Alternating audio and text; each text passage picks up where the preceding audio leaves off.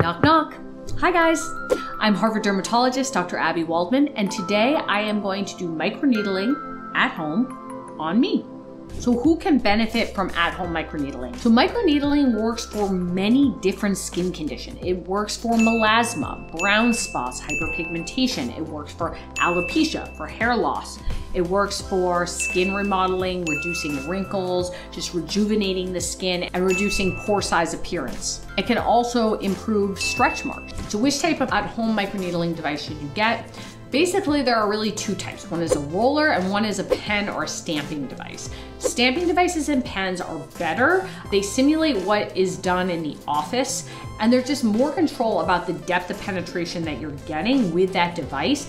It also just tends not to tear the skin, whereas the derma rollers will tear the skin as they're going over the skin. They also can actually buzz the hair if you're using it for alopecia and kind of trim your hairs, which you might not want.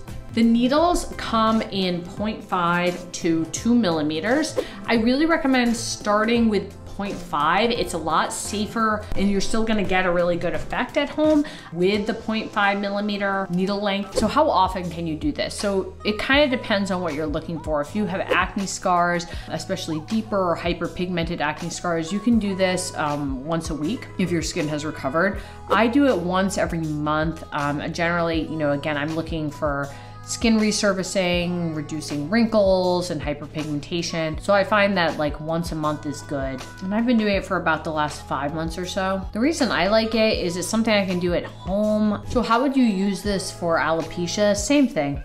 You know, basically you just show the little areas and you would you know, put it right there. So what can you apply after microneedling? The best things to apply right afterwards are serums where the ingredients don't get in so easily. So vitamin C is one of those. Hyaluronic acid is also one of those. It just has a hard time penetrating through the outer epidermis for various reasons. And so the applying your serum right afterwards can help quite a bit.